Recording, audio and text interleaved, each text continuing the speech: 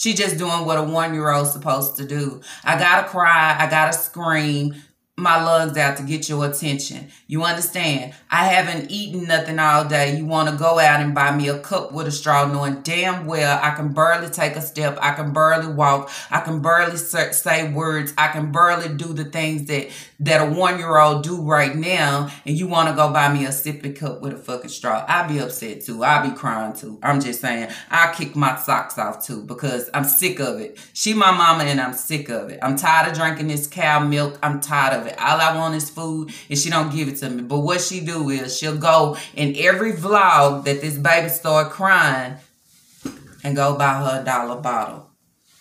And this is the thing that I would say. If you if if if you know that that's her way of eating because that's how you choose to feed her, why is it that you only buy one bottle and the one bottle that